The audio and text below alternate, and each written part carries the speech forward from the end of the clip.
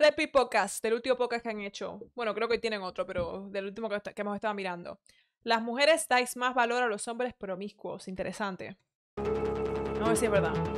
Andrés Raw Music. Todo depende de aquello que se busque en una pareja. Si tú quieres un hombre de alto valor, debe ser la mujer que ese hombre necesita. Y un hombre de alto valor no necesita una mujer independiente. Necesita una mujer que sea su seguidora y a la cual poder proveerle. Pues eh, pereza de gente. Oye, pero porque no es tan falta de respeto. A mí me da pereza, no, no me faltaba el respeto, he dicho que a mí me da pereza Yo eres- tratar con gente con estos pensamientos. ¿Estás tratando con uno? Pues porque eso, que me está dando pereza. Pues bueno, escúchame, a mí no me da pereza tratar con gente Yo que te vende digo su... porque es que no, no, no llegamos a. O sea, que vende- o sea, a mí, a, a- a mí me daría pereza que toda la sociedad se basase en mujeres que venden su toto en OnlyFans y aún así estoy aquí intentando tener un debate con vosotros acerca pero de la mucha familia. pereza no te debe de dar cuando sí que te interesa, porque al final somos las que te están dando juego para crear una entrevista. Pero al final, Sí, eso, eso me acuerdo. Hay una comentarista americana, Candace Owens, que fue también un podcast como el Repeat Podcast o whatever, y todas las chicas eran de OnlyFans o directamente cariñosas, y ella habla de ellas también en su canal, como lo hago yo. Y las cariñosas le decían, bueno, pero tanto no puedes estar en contra de nosotros si hablas de nosotras luego en nuestro canal. Y ella le dice, es que por mucho que opoko con todo esto, hay, que decir que son fascinantes ustedes. Y es totalmente, o sea, estas chicas, y no solamente las chicas, los chicos también, que se dedican a hacer este tipo de cosas degenerados, por mucho que uno está en contra de ello, es fascinante al final lo que, lo que, fascinante de una, de una forma como, como que lo quiero, como que lo ves externamente, como si fuera un circo, ¿me entiendes? Yo veo estas cosas y digo, es un circo, te es fascinante como los freak shows que vas a un circo y tienen como el hombre más bajito del mundo, este tipo de cosas. Ver la mentalidad, que está detrás de toda esta gente para llegar a, este tipo de cosas. acabo a cabo con jaquecas. Sí, Bueno, pero yo dos. también acabo con jaquecas cuando me hago tres vídeos para mi Only. Bueno, vamos a seguir, Lili. Vale. Vamos a seguir, Lili.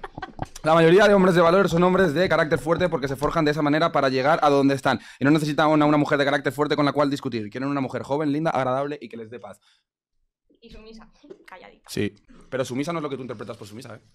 ¿Tú qué interpretas por sumisa? No, por lo que están diciendo de eso, de, de Pues estar sí. calladita, de asentir, de sí, sí, No, no, no, cariño. no, Yo no. no estoy de acuerdo, yo no creo que uno... a un- A ver, yo de entrada... Estás confundida, no es sumisa. Pero bueno, Andrea, te dejo. No, Ataca. no, o sea, yo creo que una de las cosas que enamoran a un hombre de una mujer es precisamente que no sea sumisa. Ojo, que no quiere decir que sea una respondona y que esté todo el rato buscando pelea o el que esté tal, pero que una mujer se haga valer también, eso a un hombre le encanta. Vamos, Claro, hay una palabra en inglés que se llama doormat, que es cuando doormat es una persona que no tiene límites alguno, que tú le dices como tírate de un quinto piso y va y se tira, eh, y que en una relación se deja imponer de todo y siempre está ahí como sí, sí, sí, sí. Entonces hay una diferencia entre eso, porque muchas mujeres escuchan esto y dicen, ay, tengo que ser, tengo que ser un doormat. Y es como, no, tú tienes tus límites y te vas a dar a respetar de la misma forma. No, no, no quiere decir llegar a ese punto como que el hombre te está tratando mal directamente y tú estás ahí como, sí, sí, o te estás haciendo infiel tú estás como, sí, sí, sí, lo que tú digas. Porque siempre que dicen eso de sumisión, pero sí asumen que es como ese extremo.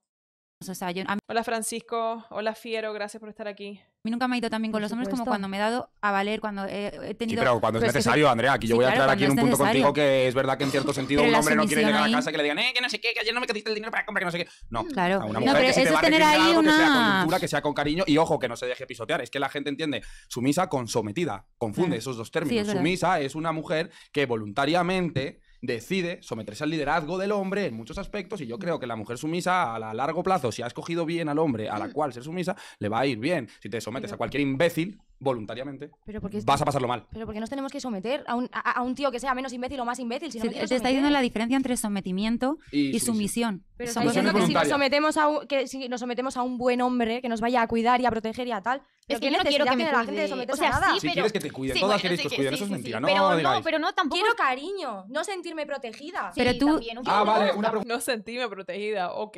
Creo que sí, sí es una imperativa femenina sentir que tu hombre te protege, o sea, completamente. Indudablemente está en nuestra genética. Ya que tú, porque sí, sí es cierto, sí es cierto, y esto me lo hizo ver de hecho Roma Gallardo, como que muchas veces caemos en estas cosas de, ay, la genética, y luego por otro lado no queremos admitir ciertas cosas de la genética.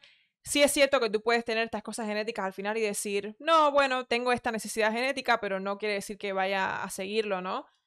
Que vaya necesariamente a irme por esa ruta, pero sigue estando ahí. O sea, tú como mujer puedes decir, me gustaría tener un hombre que me proteja, que me cuide, pero lo voy a hacer yo sola, voy a quedarme toda la vida yo sola y lo voy a hacer yo y no me hace falta. Puedes tomar esa decisión, pero no quita que va a estar ahí. Pregunta, Lilith, ¿a ti estás con tu chico? Igual que tú como hombre puedes decidir quedarte toda la vida con tu mujer e incluso cuando ella ya tenga cierta edad, Y, y por mucho que, que puedes estar feliz, no te digo que no, muchos hombres están súper felices con sus mujeres y con- pasa, el, pasa el tiempo y muchas mujeres están felices con los hombres pasando el tiempo, pero no quiere decir que la genética no vaya de aún así llevarte por la ruta que te vas a sentir atraído a otras personas, chicas más jóvenes, qué sé yo. Lo que la decisión va más allá de eso. Dices, no, me quedo aquí porque aquí es donde estoy. Llegan, Yo no tengo llega un pibe. tengo novia. Vale, vale, vale, vale. Pero bueno, eres bisexual. Sí, pero Imagínate ahora en el tengo hipotético novia. imaginario mundo donde Lilith no tiene una novia y tiene un novio. Llegan, un pintamonas, y le dice, eh, chaval, tu novia es una zorra y dame tu móvil. Y él coge el pibe, eh, perdona, tío, y se lo da. A ti se te seca la vagina de por vida. Pero que no me De tiene. a ver, por vida. Pero que en eso no quiere decir que me tenga que estar defendiendo y sacándome a mí las castañas del fuego como si fuese el macho men. O sea, eh, evidentemente. Depende, en, un- en una situación de violencia es el hombre el que debe poder, debe de tener la capacidad de sacarte las castañas Pues no del lo sé, fuego. depende del hombre, porque igual pones a un hombre de 1,50 Aquí y pones a una tía de 1,80 que te mete un puñetazo y te dobla, pues, pues a Aún mí así gana prefiero el- la tía. aún así gana el hombre. Depende. No, ganaría el hombre en Depende. un 90 No depende, este es el típico discurso feminista. Hay mujeres tan fuertes que les ganan a los hombres, hay mujeres tan rápidas que él corre más rápido que los... No, no es así. No, el hombre más rápido siempre va a ser más rápido que, que la mujer más rápida con mucha ventaja, el hombre más fuerte siempre va a ser... Olvídate del hombre más rápido, los hombres, o sea, el hombre, no sé, número mil literalmente, así es la diferencia. Va a seguir siendo más rápido que la número uno de mujeres. A 99% de, la, de esa pelea ganaría generalmente el hombre. A no ser de que tenga algún tipo de deformidad y tenga los brazos como hilillos. Sí, o que la tía tenga un tipo de formación y yo no tenga ni puta Vale, idea. bueno, pero estamos hablando de la mejor de las mujeres contra el peor de los hombres. En No, ese caso no, no podría de ganar. Se ha comprobado, eh, o sea, No es- estoy de acuerdo. Echenique no ganaría, ¿no? No estoy de acuerdo. La mayoría de hombres de valor. eh, yo esto ya lo he leído. Joder. Espero que sean todos hombres de valor y no se Los que pajas hablando, luego después al salir del directo, ¿eh? No, no, no, Porque eso aquí no damos clases, pero... Bueno, ya, pero, A ver, tú tienes que esperar justo lo contrario. pero bueno, pues entonces que, que se callen la bocaza. J, los trabajos deberían brindar un valor agregado. J, los trabajos deberían. Eso es lo triste, que estas chicas después de estos podcasts reciben tanta exposición que acaban recibiendo montones de nuevos suscriptores para sus Only. Porque montones de estos hombres están mirando el directo y están como escribiendo, sí, como PUTA, te vas a quedar sola al muro y luego son los primeros en suscribirse. Van escribiendo eso y por otro lado están suscribiéndose a la cuenta. deberían brindar un valor agregado a la sociedad. El OnlyFans no brinda beneficios reales. Al contrario, solo empeora la comprensión de las dinámicas sociales entre hombres y mujeres. Saludos desde México. Joana, mastica hielo. No sé por qué dicen eso, pero te lo han mandado a ti, Joana. Es inteligente que la chica gane mucho dinero en OnlyFans, pero Esa es también la que siempre está así. debe aceptar las consecuencias de su decisión. No todo en el mundo es el dinero. Existen los valores y la dignidad de la persona. Quedan ya tres más. Andrea, te amo, eres... Andrea, te amo, eres mi ídola. Leo Portela, bienvenido a la comunidad. Muj- eh, hombres, buscar mujeres, la que menos pena dé. Joder, macho, César Ortiz, tío. Gracias por la donación. Intenta- Chicas, vamos a hacer aquí una pequeña connotación. El mercado de citas, sabéis lo que es, ¿no? El mercado de citas es espacio no físico en el cual hombres y mujeres interactuamos para buscar la mejor opción de pareja en el largo plazo. Me encanta la definición, es como que la acaba de sacar de un, de un cuaderno, de un libro de, de escuela o algo así. Ese espacio no físico donde hombres y mujeres interactúan. Inevitablemente, cualquier persona soltera que le gusta Como el tipo de cosa que vas a un examen y te dicen, define mercado del amor. y a tener una pareja, Define hipergamia. ¿Se imaginan que estemos en un punto y a un punto o algo así? Que vayas a la escuela y tengan que estudiar estas cosas, como no sé, 50, 100 años de ahora, como el Red Pill Movement, define hipergamia, define no sé qué, como en una clase de sociología, define hombre de alto valor según los Red Pillers. Y es como seis pies, seis, seis, seis figuras mensual al año. está en ese mercado. ¿Tú estás buscando algo? Activamente. no. No, No. pero si llega, llega. Sí, llega, estás llega. soltera. Sí. O sea, no te re- estás cerrada, no. Pues tú estás en el mercado. Tú, por ejemplo, no. Tú no buscas nada. Estás fuera. Yo bueno, Bah. estoy en, en otro mercado. En otro mercado. nivel. Tú, En otro Joana, estás nivel. Luna. Está en el mercado de, de proxeneta, literalmente, proxeneta virtual. Y tal. ¿Qué notas os dais a vosotras mismas en el mercado de citas, independientemente de si estáis en él o no? ¿Qué notas, qué notas te das a, ti misma? Vamos por ti, Vivi. Del 1 al 10. Yo me daría un 7, pero soy por culera más no poder. Hostias, joder, macho. No, ¿Qué? Por culera. Vivi. ¿Hay quien entiende qué dice? Del 1 al 10. Yo me daría un 7, pero soy por culera más no poder. Hostias, joder, macho. Ni, idea qué, qué estaba diciendo. Había un, un creador de contenido que falleció que se llamaba Kevin Samos de este tipo de cosas Red Pill. A mí me gustaba a veces y a veces no tanto. Y se hizo súper viral. Y falleció súper joven, de repente, hace como un año y pico o algo así. Y siempre él se hizo viral porque llamaba mujeres, casi siempre, llamaba mujeres a su show en vivo en YouTube y hablaban con él, ay, no encuentro, no encuentro un hombre, qué sé yo, qué tengo que hacer. Y casi siempre que tenían las expectativas muy altas y ellas no, no estaban al, al nivel de lo que estaban pidiendo generalmente, tipo 40 años, obesa, con tres hijos y querían un hombre de 30, millonario, ¿me entiendes? No te digo que no pueda pasar, pero es un poco como, no me extraña que estés soltera si solamente estás buscando eso. Y él siempre les decía que, les, que, se dieran ellas una puntuación del 1 al 10, como acaba de ser J con las chicas. Y la mayoría, él siempre decía, ok, date, date del 1 al 10, pero no te puedes dar un 7. Porque todo el mundo se da 7. Yo misma le pregunto a ustedes, ¿qué se dan del 1 al 10? Tu instinto casi siempre es darte un 7. A mí misma pregunto, digo, 7. Entonces, esa, esa estrategia es muy buena porque te fuerza, si eres, te, te fuerza a ver si eres un 6 o un 8, porque un 8 ya es como, ay, soy, un 8 tienes que ser súper atractiva, y un 6 es como que eres mona, est- estás por encima de la media, pero eres mona, pero es más realista, porque el 7 se lo da a todo el mundo, aunque no estén lejos ni del 8 ni del 6, entonces ponía a la gente más realista. Yo, si tuviera un show como esto, no le dejaría a la gente darse un 7 tampoco, les diría, del 1 al 10 que te das y no te puedes dar 7, a ver qué se dan, a ver si se dan el 8 o si se dan un 6. Macho, no, no esperaba hacer Pero creo que si me conoces soy buena persona. Eh, cuando quiero a alguien le quiero muchísimo.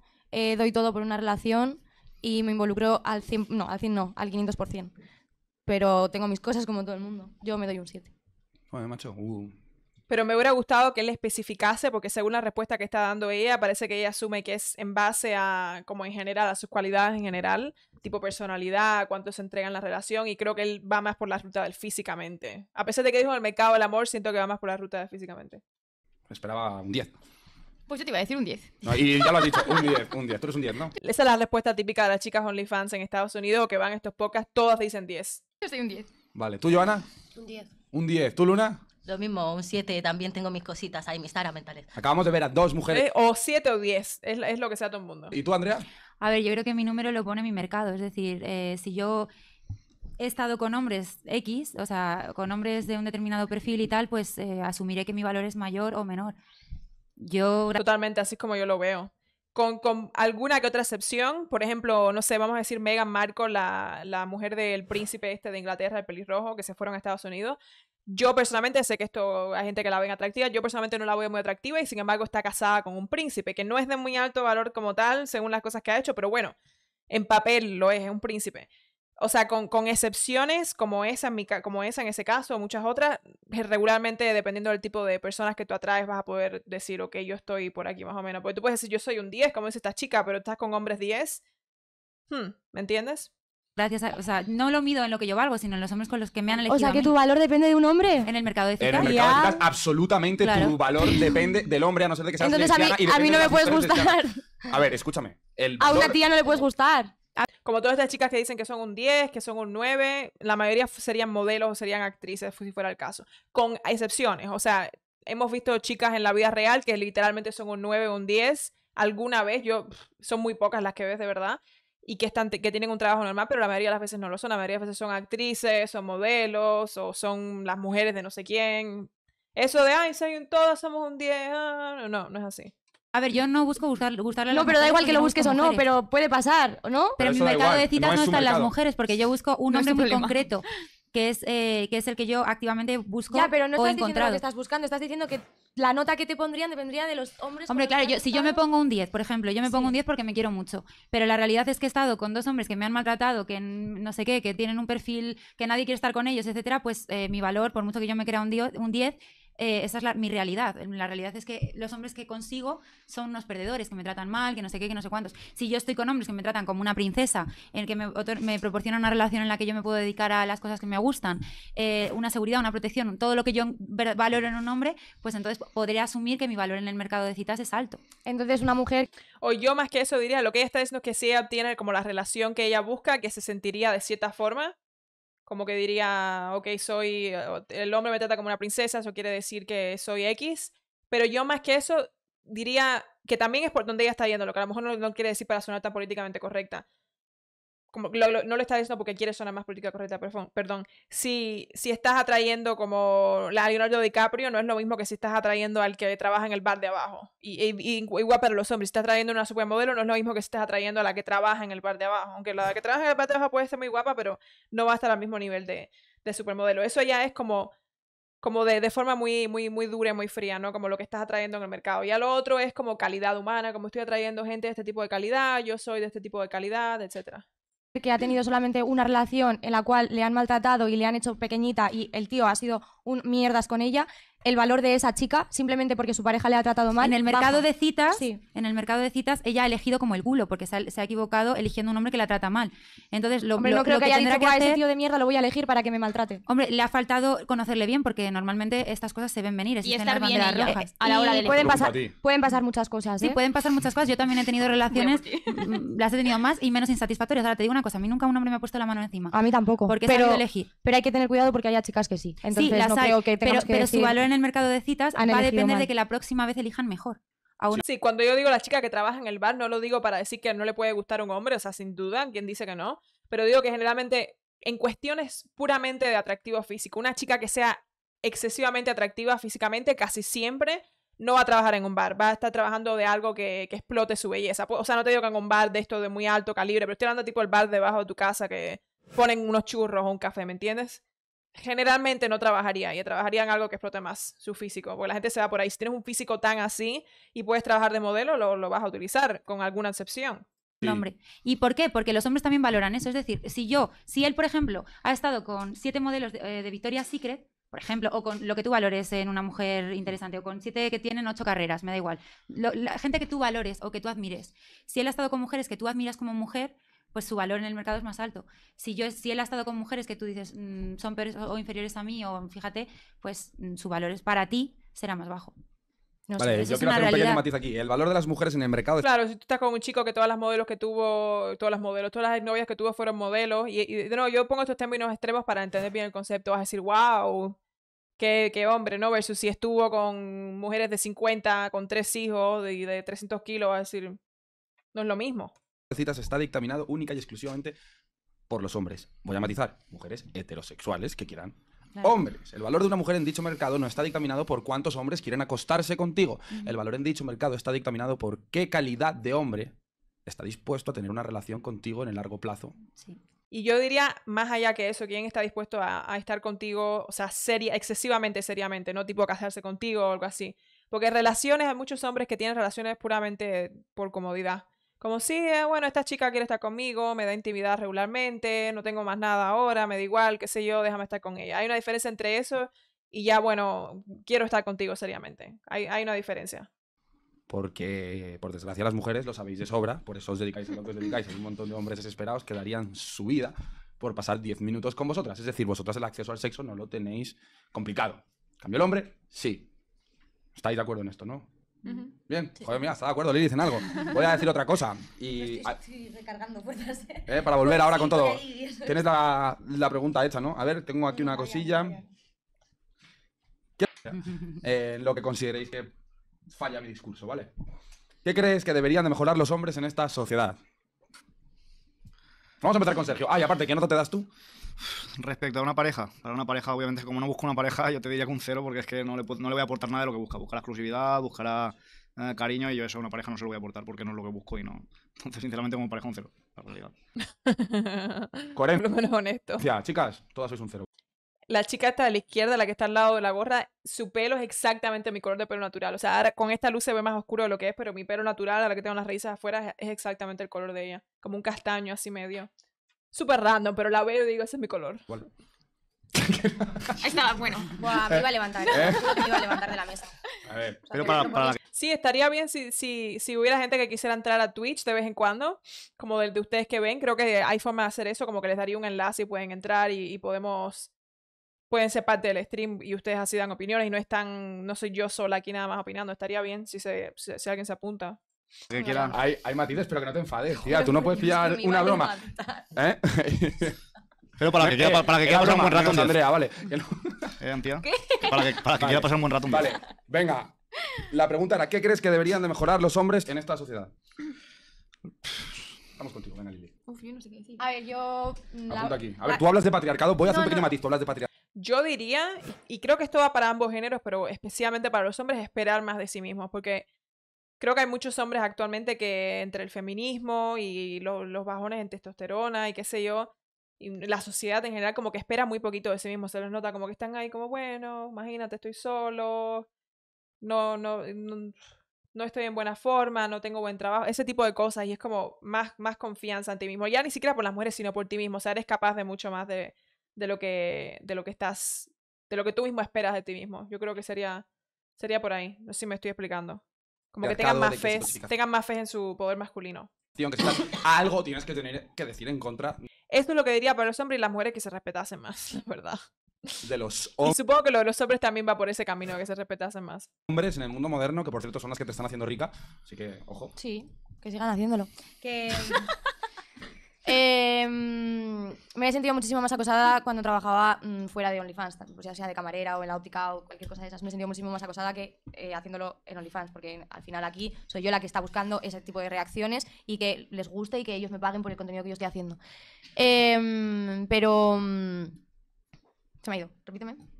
¿Qué crees que deberían de mejorar los hombres en Ah, eh, la- yo la última pareja hombre que he tenido, la verdad es que eh, fu- fue maravilloso conmigo, me trató genial, eh, súper respetuoso. A día de hoy tenemos una relación de amistad eh, súper bonita. Entonces, eh, si todos los hombres son como él, yo para mí hay, hay pocas cosas que mejorar. Respecto a la sociedad, a los hombres, creo que están asumiendo muchas cosas que las mujeres hemos empezado a hacer y, y creo que la cosa va bien encaminada. Yo no cambiaría cosas ¿Puedes de... ser un Claro. poquito más concreta, por favor? Ella, yo, por ejemplo, estoy diciendo básicamente que los hombres deberían mejorar eso, de creer más en sí mismos, y eso incluye no ser simps con este tipo de chicas, pero el caso es que estas chicas viven de hombres débiles directamente. Entonces, ¿qué van a decir ellas? Ellas no van a sentarse aquí a decir, sí, necesitamos más hombres que crean en sí mismos, que se respeten y no nos den dinero y no sean adictos al no por y no estén en casa todo el tiempo sin trabajar en sí mismos. Ellas no pueden decir eso porque pierden todo su negocio. Ellas viven directamente de estos hombres. Por favor. Coño, es que No salen con estos hombres, pero viven de ellos. cambiaría cosas de, de hombres en concreto. O sea, no cambiaría cosas de todos los hombres hacen Venga, esto. No. atácame a mí personalmente. No pasa Tu nada. mentalidad, tu mentalidad retrógrada. Sí que, sí que la, dinosaurio. la- la intentaría cambiar o hacerte ver que no por dedicarme a esto mm, te voy a, a querer menos o te voy a hacer sentir de menos o te voy a respetar menos. Al contrario, igual mm, te sientes más valorado por mí, que te voy a tener en un pedestal por la forma de, en que yo amo a una persona que no se dedica a esto, que sea fría, que sea irrespetuosa, que sea tal. Aunque, se, aunque sea una abogada, me da igual. Luego igual en, en tu relación no te da el puesto que te merece. Pero es que eso es lo que ellas no entienden, sin duda. No lo pongo en duda que muchas de estas chicas pueden ser buenísimas parejas, que no sé, pueden hacer lo que, lo que tú quieras y a lo mejor en el ámbito íntimo son superior, qué sé yo, y son femeninas y no, no, no pongo en duda eso, pero la cuestión es que van a seguir exhibiendo una cosa que es muy importante para los hombres, que es su intimidad para otros hombres. Ya, ya ese, ese, ese arco de exclusividad está completamente eliminado y ya como que puedes tener todo lo demás, pero si no tienes eso que me cuentas, ¿no? Es como que ahora un hombre venga conmigo y me diga, voy a ser el mejor hombre de tu vida, pero en realidad no soy un hombre, en realidad soy una mujer, es como, ok, puede ser todo lo bueno que tú quieras, pero ya te falta lo principal para empezar. Si, si, no, si no eres capaz de brindar algo tan esencial para los hombres como, la- como es la exclusividad, por lo menos para los que quieren una relación seria, ¿qué más da todo lo demás que aportes? Si tú no eres un hombre para empezar, eres una mujer, no sé si son buenas analogías, pero ¿qué más da todo lo que aportes para una relación conmigo? Diría que yo quiero un hombre, no quiero, yo quiero una chica exclusiva en el caso de ellos. Vale. Voy a entrar luego en eso, te voy a Vale. responder luego. Continuamos con Anti. A mí no me gusta generalizar, la verdad. Mi gemela de pelo castaño. vale. Entonces, eh, no diría que cambiaría algo de todos los hombres, porque creo que cada hombre es diferente, tiene su personalidad, sus valores, sus padres le incu- le inculcaron a cada hombre pues lo que le haya inculcado. Mm, entonces, pues depende de cada hombre. No te puedo decir, cambiaría esto de los hombres, porque cada hombre es diferente. Entonces, eso es lo que creo. Vale. Respuesta súper básica. Obviamente, yo no soporto, te lo juro, hay pocas cosas que me llevan la sangre, pero me vuelve loca cuando la gente da respuestas así. Claramente, o sea, ¿qué cosa más evidente en el mundo que todos los hombres son diferentes, que todas las mujeres son diferentes hasta cierto punto? Porque compartimos muchas más cosas de lo que nos gusta admitir. No somos tan únicos como nos gusta admitir. Pero qué cosa más obvia que es, todos los hombres son diferentes, todas las mujeres. Es como una respuesta vaga. Súper vago, como no quieres mojarte ni un poquito, no quieres arriesgarte un poquito.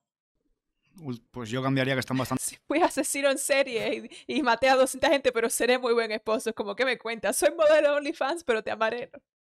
Mariconados y que ace- aceptan cualquier cosa respecto a una mujer y que Eso es lo que decía yo. a Irene Montero diciendo lo que sale de la polla y lo aceptan todos y ya estamos hoy en día viviendo situaciones como legalmente que estamos en una inferioridad que flipas Cierto, cierto, gracias a totalmente. cuatro gilipollas que aceptan cualquier cosa que diga, que diga una mujer solo para tenerla contenta. O sea, tú abogas, eh, ahí está conmigo en el discurso, que la masculinidad tradicional de pelear por los derechos de uno vuelva. Sí, un poco. Pues yo también, ¿eh? De verdad, de verdad. Que nos gustan los hombres femeninos, en el fondo. ¿No os dais cuenta que, eh? ¿A ti te gustan los hombres femeninos? Sí. que, No, que te lloren y te digan, no, yo mi las mujeres". jefe me ha echado la bro-". Bueno, el que va a decir uno vive de ellos y dos dice que es bisexual, entonces Y bueno, y- También el tipo de hombres, ponte a pensar el tipo de hombres que van a estar así con chicas que no te dan esa cosa tan esencial, no creo que sean directamente los más masculinos, van a ser los que aguanten cualquier cosa. a mí me gustan los hombres. Llorones, ¿no? No, hombre, que, no se- que no, que no son.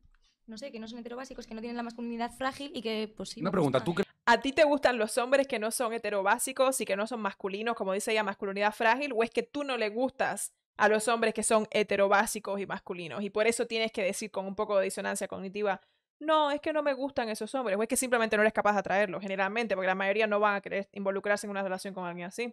¿Cuál de las dos será? crees que yo tengo la masculinidad frágil? Yo creo que sí. ¿A qué te refieres con eso? Hmm. Es mi opinión. No, no, no, pero que da igual, si no te estoy atacando, yo voy a atacar A el argumento. masculinidad frágil. Vale, ¿qué es la masculinidad frágil? Pues a que creo que no vas a salir de tus patrones pues por lo que la sociedad dicta y por lo que te han hecho creer a ti y te han inculcado desde pequeño. Y eres incapaz de salir de eso y ver si realmente te gusta o no te gusta. ¿Qué tiene eso de frágil? Pues que no eres capaz de salir de tu zona de confort para ver si Salir realmente es algo que te gusta o no te gusta. Es irme con una mujer que esté más rellena que un pavo en Navidad. ¿Perdón? Lo acabo de decir. ¿Perdón? Lo que acabo de decir, o sea, tener- salir de mi zona de confort para ti es que explore, que explore qué, que me metan cosas por el culo, o sea, es que no Eh, entiendo muy bien. ¿Qué es masculinidad frágil? Quiero que me defináis eso. No lo Cuando tienes que llamar a una A mujer ver, Antia, que deja- así, decirle que tiene que quedarse como un esto relleno, para mí eso, que tengas que atacar así a una mujer argu- para argumentar te, algo, no te a ti. ya me parece bastante frágil. No, a una mujer en general.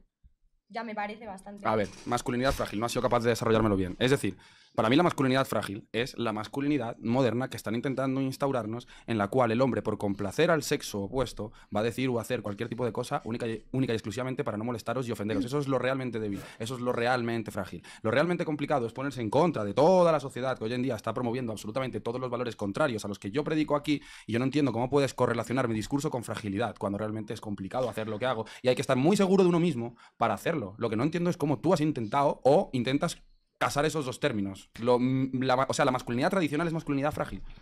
No, al con- no, no he dicho Entonces, eso. Tú, tú, por ejemplo, Yo defiendo la masculinidad tradicional, entonces al decir que mi masculinidad es frágil, estás diciendo que la masculinidad tra- tradicional... Que no me interesa. Ya, ¿y qué? Porque no te ¿Que por, qué, por qué me tiene que interesar? ¿Por qué me tiene que No, interesar? la- no tiene por qué interesarte, pero ¿por qué te incomoda? No me incomoda, me voy. Le sobra. ¿Eh? Es que me sobra. A mí yo quiero estar contigo Pero a dos solas. chochos no. Es un hombre. A A ver, soy un no, hombre, que si me pones 10 dos. chochos... Oye, ojo, chavales, no voy a ir aquí de moralista, no nos vamos a engañar. No nos vamos a engañar. Todo el mundo ha fantaseado con hacérselo con dos mujeres a la vez. Ahora bien, con dos manines es distinto, cambia la cosa. No es lo mismo tener cuatro tetas y dos tal que tener lo mismo, pero compartido con otro con otra espada láser. Es que no mola. Depende, hay gente que sí que le gusta. Hay gente, y lo respeto, y lo respeto. Ojo, que cada quien haga lo que le dé la gana. Es que yo lo respeto, pero ¿por qué tú me atacas a mí por no querer una espada láser No, al lado sí. mío con masculinidad frágil? Lo que te espero, que no me parece ningún ataque, simplemente es mi opinión. O sea, igual que a ti te parece que soy un pavo relleno y a mí me Yo no he parece dicho que, que tengas la seas un pavo relleno. Yo no he dicho que tú seas un pavo. Yo no he dicho que tú seas un pavo relleno. Yo no he dicho que tú seas un pavo de relleno, por favor. Yo Que soy las muy. mujeres como yo somos pavos Yo no he dicho eso tampoco. ¿He dicho yo eso, Mesa? No. ¿Eh? Eh, Por lo menos se lo toma con gracia. bueno, A no, no, no dijo que haya sido tú. No. dijo, No, He dicho, vale, he dicho, una- he dicho que una mujer hablo- que se ha acostado con un Vale. X número de personas, Voy a ¿vale? aclarar ¿Por algo. qué no puedo ¿Y qué es tener un un hombre pavo? cuando se acostó ¿Eh? con, con un... ¿Qué? es un hombre cuando se acostó con muchas mujeres? ¿Qué es? Un jabalí, Porque- un G, un, Un golf.